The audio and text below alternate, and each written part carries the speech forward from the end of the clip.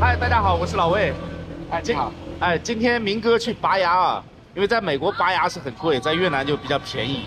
然后我现在已经带着他到杰哥楼下了，然后杰哥带我们去给他拔牙。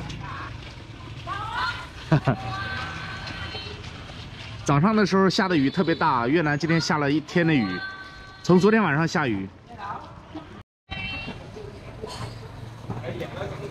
昨天明哥还说，来越南这么多天一场雨没下，然后是不是越南雨季就过去了？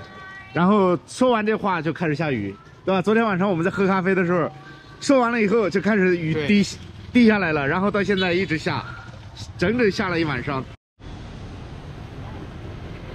这个叫顺桥牙科诊所。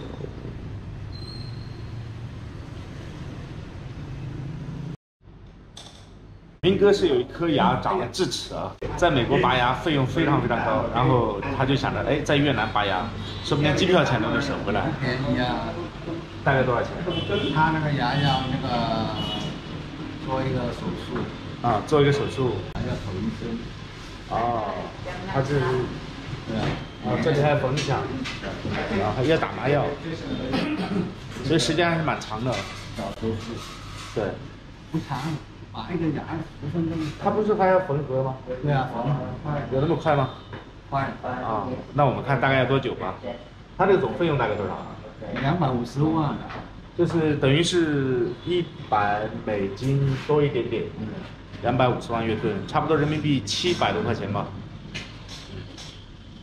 我们希望他一切顺利。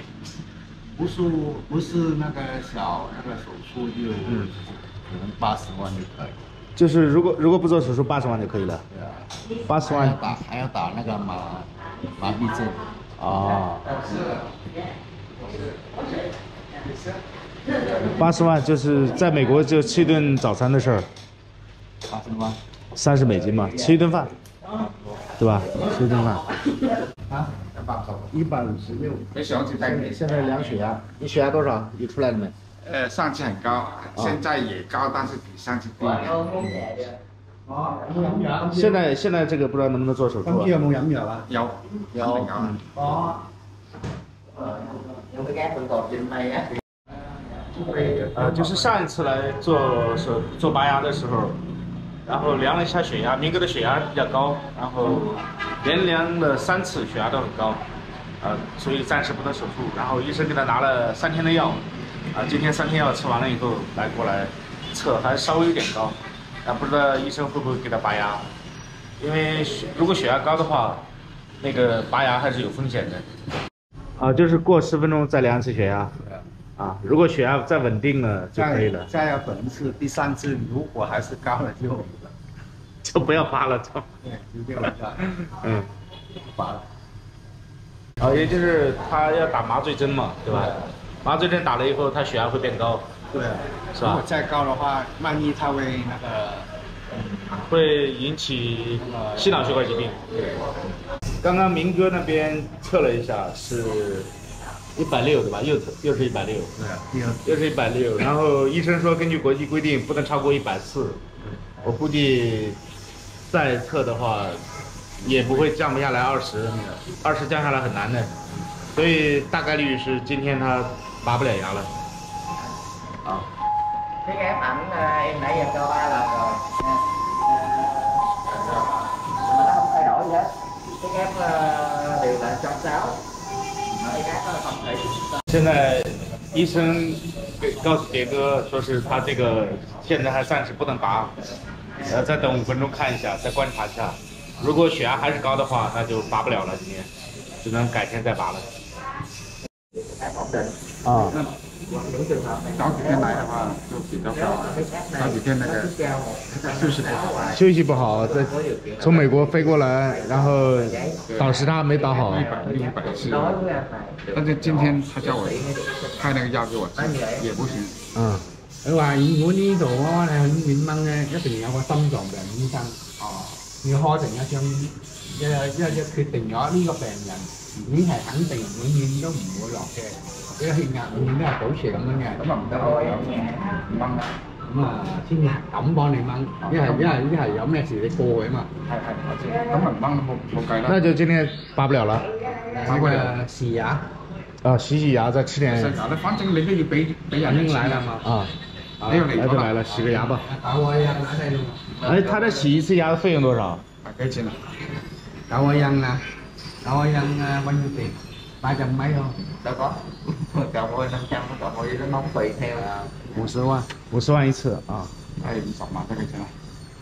五十蚊。啊？二十美金。哦，整埋嗰種。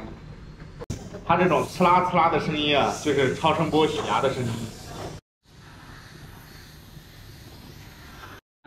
有 chưa? 啱針。我有錢得咁你俾。再付多少钱？五十万就可以了，是吧？哦，你當俾先。Dạ rồi. Rồi em nhận đủ nha anh giờ là của anh xong rồi rồi cảm ơn anh nhiều Dạ, dạ, cảm ơn dạ thank you sir thank you. Cảm ơn, cảm ơn, cảm ơn. 好，拜拜。Thank you, thank you. Jason, I got a lot of friends here. Yeah. Looking for, looking for the. dạ see you later 呃，现在明哥是，因为他这个高血压不能够在诊所里拔牙，要去专业的医院里，要有心血管医生或者心内科的医生，呃，给他签了字，说他可以拔牙，那才才可以，要进行一个检查，所以他有可能在越南不再拔了，因为长了一颗智齿啊，有时候吃东西还是蛮疼的，呃，忍一忍也行，就是可拔可不拔。但是最好是拔了，因为在美国拔牙特别贵，所以他就想来越南正好来旅游，正好也把牙拔了。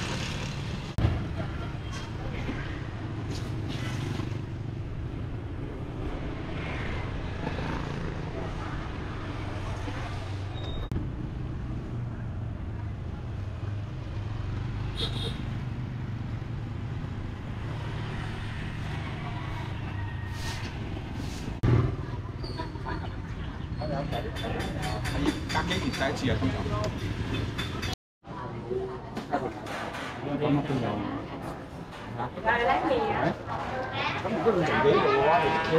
中午就吃的比较简单啊，这个杰哥家门口的一个快餐店，我们随便吃点就好了。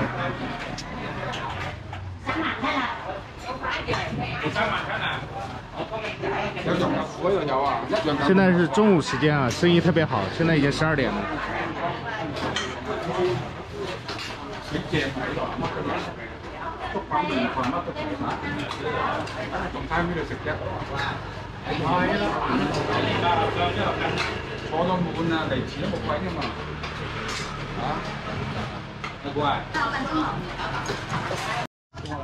貓已經濕透了，帽子湿了，刚刚下雨。